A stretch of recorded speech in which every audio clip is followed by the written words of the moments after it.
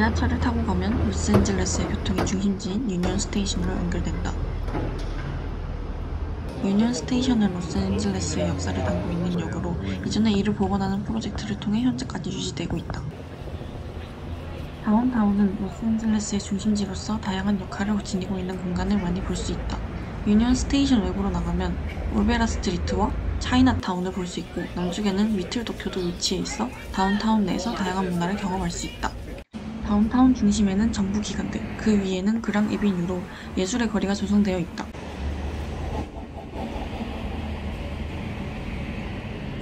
특히 그랑 에비뉴에는 스테인리스 스틸로 눈길을 사로잡고 있는 프랭크 게리의 월트 디즈니 콘서트홀이 위치하고 있다. 그 옆에는 더 브로드와 건너편의 모카, MOCA도 함께 있어 음악, 미술 등 다양한 예술을 즐길 수 있도록 활기찬 거리의 모습을 지니고 있다.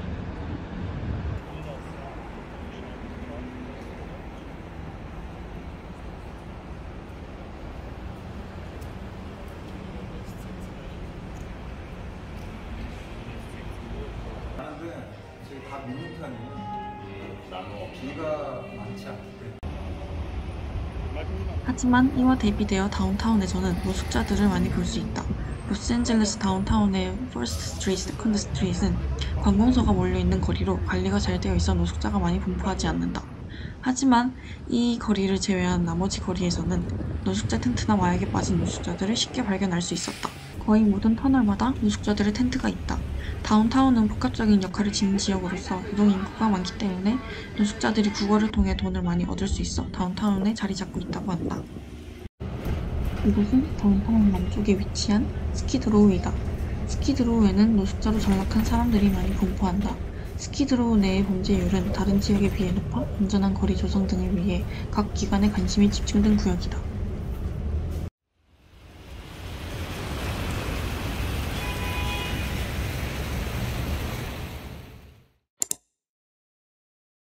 이제 베트남 전쟁이 끝나고 나서 돌아온 그 군인들이 있을 거 아니에요. 이 사람들이 PTSD에 엄청나게 시달렸어요. 그거를 연방 정부에서 다 care를 했어요. 근데 노- 레이건이 딱 들어오면서 그걸 다 예산 잘라버렸죠. 70년대 이제 베트남 참전 군인들이 그 mental illness들이 있는 사람들이 이제 그 거기에 이제 정착을 하- 하고 그러면서 이제 약물 남용자들이 이제 정착을 했어요. 다 그냥 길거리 쏟아져 나온 거예요. 렌트가 비싸져서 렌트 못 내서 길거리에 나앉은 사람들은 일단 조금씩 돌아갈 수 있어요. 나머지 4만 정도는 갈 데가 없어요. 이 사람들은 아까 얘기한 대로 정신적인 문제가 있고 그 다음에 약물 남용들. 그러면 이제 그 쉘터만 지어놓으면 이 shelter에 들어가 있지 않는 요 사람들이 다 그러면 shelter 들어가느냐? 제 의견은 들어가지 않다. 첫 번째는 그 길거리에서 텐트에서 자고 차에서 자게 되면 물론 많이 불편하죠. 근데 이 사람들은 일단 지금 거의 다 익숙해졌고요. shelter 안에 들어가면 일단 씻어야 되고요. 룰이 있어요. 그리고 절대 그러니까 약할 수 없어요. 근데 이 사람들은 펜타닐이든지 아니면 어떤 약물 남용에 완전히 중독된 사람들이거든요. 그러면 shelter에 들어가면 그 룰 따르면서 살 수가 없는 거예요. 그러니까 그 사람들은 shelter에 안 들어가요. shelter 지어놔도. 한인타운에 홈리스들이 굉장히 많이 늘어났는데 geocoding 하면은 보통은 이제 address를 가지고 그 address locator 통해서 이제 그 포인트를 탁 찍는데 이게 주소가 어, 명확하지 않다든지 아니면 locator가 명확하지 않다든지 이렇게 되면 엉뚱한 데 가서 이 포인트가 찍히게 되거든요. 이 LAHSA, 문- LAHSA 데이터가 이 문제가 있어요. security들을 구성, 고용을 해가지고 예를 들어서 지금 저희 건물 앞에 텐트가 하나 쳐졌다 그러면은 계속 못 살게 굴어 그러니까 그거를 강제로 철거는 못 하거든요. 계속 못 살게 불어가지고 그냥 나가게 만들어요. 그래서 다운타운 이 비, 비즈니스 디- district 안에는 홈리스들이 거의 없어요.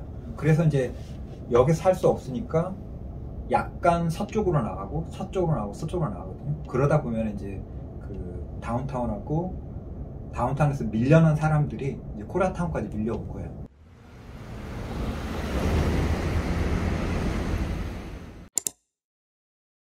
even though you're a city of 10 20 million how big is seoul Yeah. 20 million yeah we're, we're 4 million and our homeless population is significantly higher than, than Seoul. So this is really interesting to see this. Here they're called granny flats is something that we call them. And the city did have does have a process to permit unpermitted they're called um, unpermitted dwelling units um, to try to make sure that they meet the safety standard, minimum safety standard, but then still be a legal unit afterwards.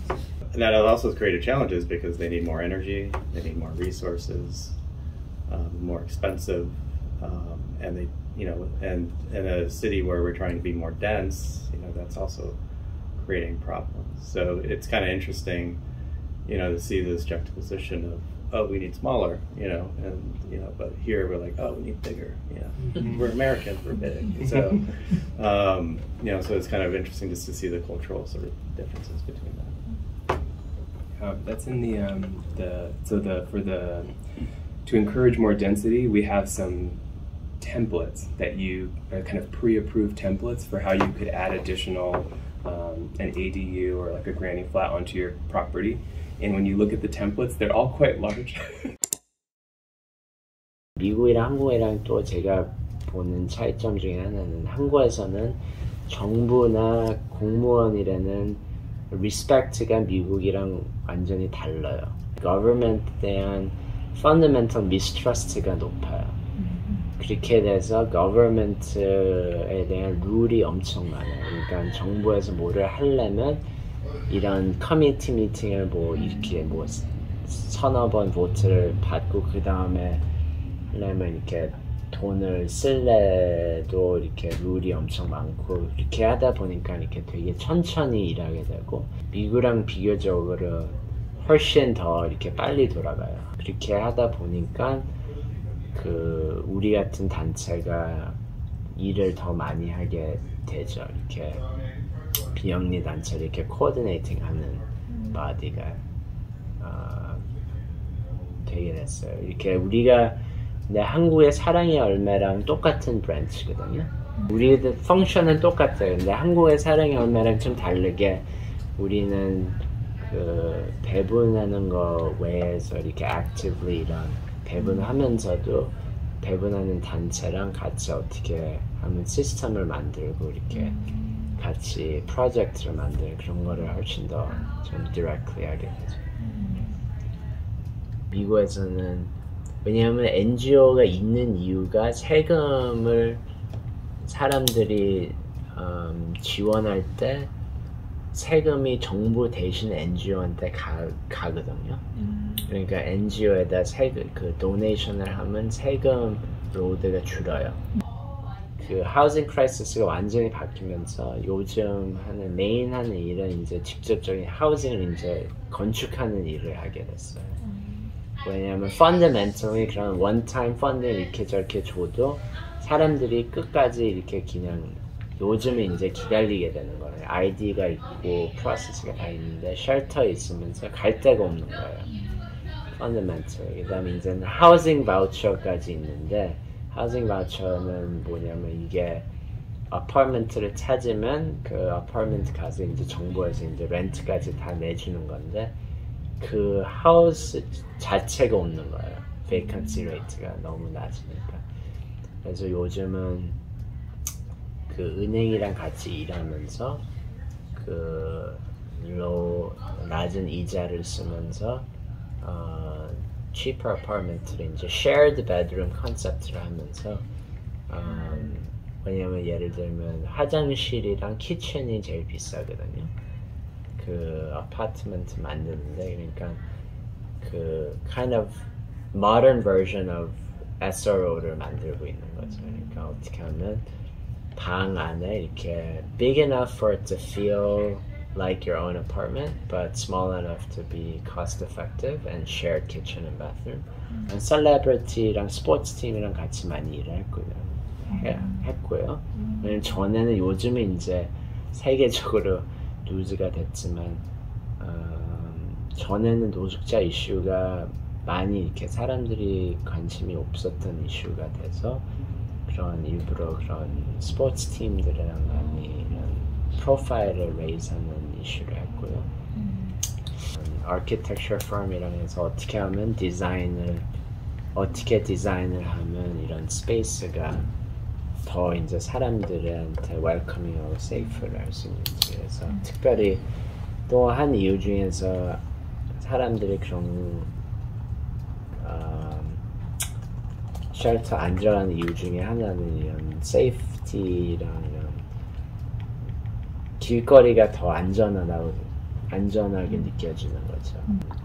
그런 shelter improvement project 통해서 그런 음, a thousand room을 업그레이드하는 프로젝트를 이제 architecture firm이랑 먼저 그런 디자인 standard를 만들게 됐어요.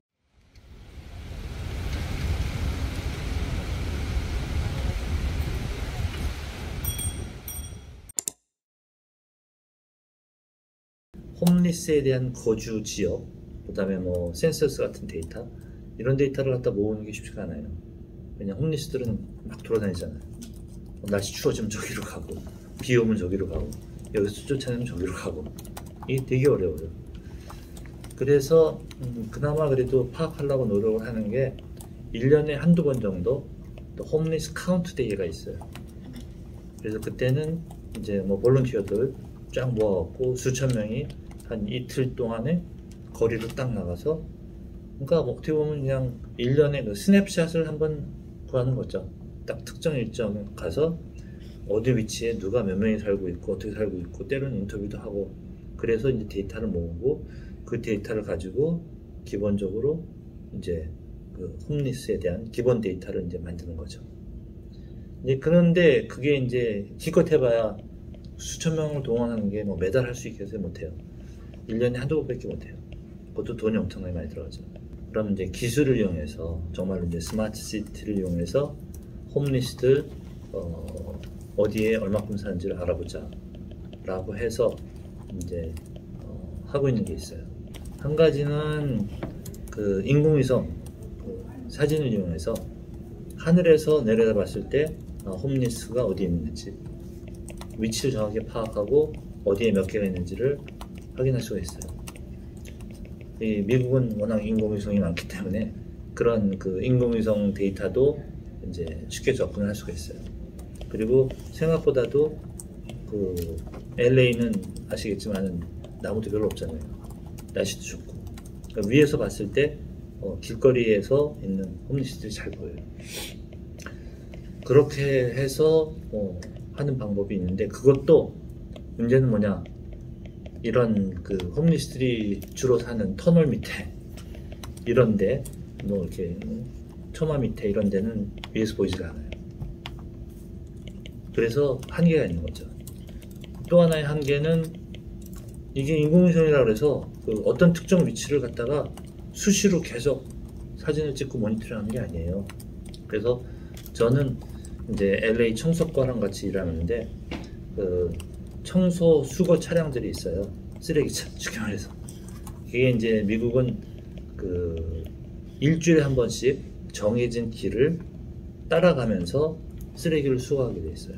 근데 청소 차량 수, 쓰레기 수거 차량이 800대가 넘게 있어요. 그러니까 일주일에 한 번 최소한 걔네들이 전 시내를 갖다가 한 번 다 스캔하는 거예요. 근데 거기에 카메라들이 달려 있어요.